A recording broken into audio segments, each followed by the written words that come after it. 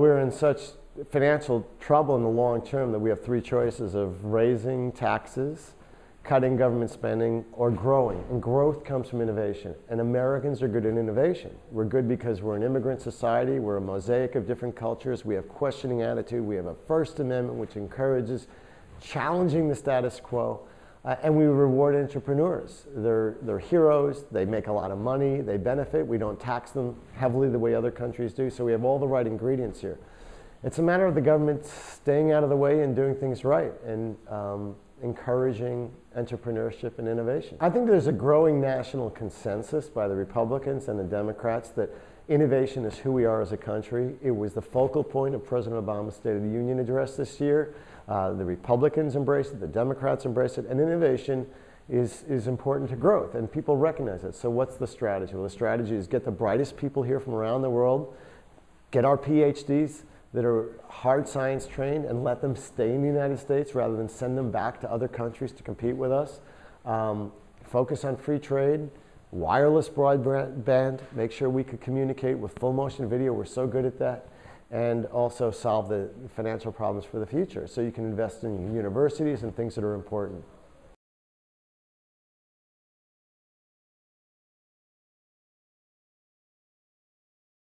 Europe and the US are incredible partners on so many different levels, whether it's culturally, historically, similar philosophies. You know, Europe might be a little bit more, let's share the wealth than the US, US has been traditionally, but the relationship militarily and historically and even to the future is so important. But it's even, you know, Poland is one of our closest allies by far. Poland is important not only militarily, but commercially, growing. A huge importance. It's getting ratings as the best place to do business in Europe. It's certainly the hub of Eastern Europe for business. Uh, Poland has a phenomenal future. I am very biased. My wife and her parents are, are from Poland. My son speaks fluent Polish. Uh, I'm trying to learn a little bit. Uh, uh. Uh, I'm just not that good at it.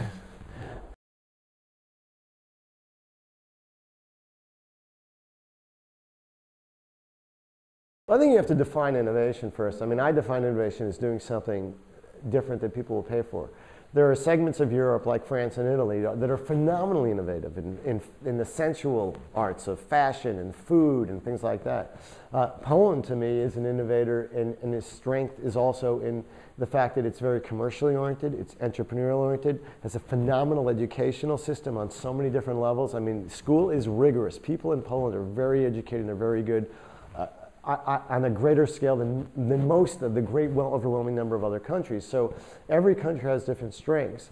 Uh, innovation can't be just defined as, as, as, by Apple. There's biotechnology, there's manufacturing processes, there's, there's service, there's, there's just uh, banking, there's commercial ways of innovation. So there's a lot out there. The innovation pie is very big, and it's not a pie which you each take a piece out of. It grows it grows and it grows, and that's the, the great thing about innovation is that as the pie grows or as the ocean raises, all ships rise as well.